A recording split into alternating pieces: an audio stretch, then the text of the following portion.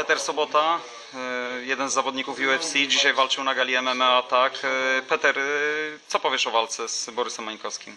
No, była dobra walka, niestety przegrałem na punkty. Po dwóch, po dwóch rundach było, sędzia powiedzieli, że było wy- wyrównane, poszło do trzeciej. Myślałem, że wystarczająco dużo zrobiłem, bo on mnie, on zrobił takedown, ja go przewróciłem, całą rundę byłem u góry, ale niestety nie dali mi wygrać. Tak jest w sporcie.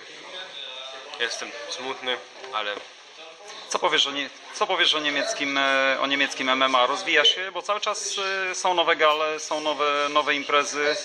E, jeśli chodzi o, Niemcy, czy, czy te MMA będzie się rozwijało w Niemczech? Bo do tej pory zna- Niemcy były, byli znani z boksu, z kickboxingu.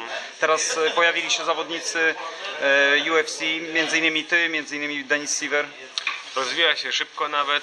Jeszcze nie, nie, nie są niemieckie e, fightery tak daleko jak polskie, ale rozwija się. Myślę, że za, za 3, 4, może 5 lat będziemy mieli tak z 10-15 e, fighterów UFC. Po, idzie do przodu, więcej gali są, więcej gymów są, młode ludzie przychodzą, trenują twardo i bę- będzie coraz to lepiej. To nie jest twoja pierwsza walka w Polsce. Walczyłeś wcześniej na KSW, prawda? E, Teraz jest druga. Kiedy kolejna walka w Polsce? No, nie wiem. Dzi- dzisiaj przegrałem, muszę najpierw się w, to, w domu siedząc i pomyśleć i będziemy widzieć dalej. Ale naprawdę w Polsce zawsze się dobrze czuję. Super gala było. Świetnie mówisz po polsku. No, trochę mi niekiedy słowa brakują, ale jeszcze trochę umiem. Zawsze dobrze się czuję w Polsce, a gala była super. Wszystko, wszystko ok. Podziękuję.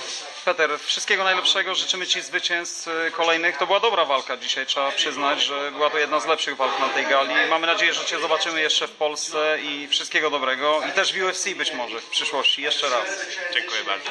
Dla portalu Fight Sport Peter Sobota, jeden z zawodników gali MMA. Tak.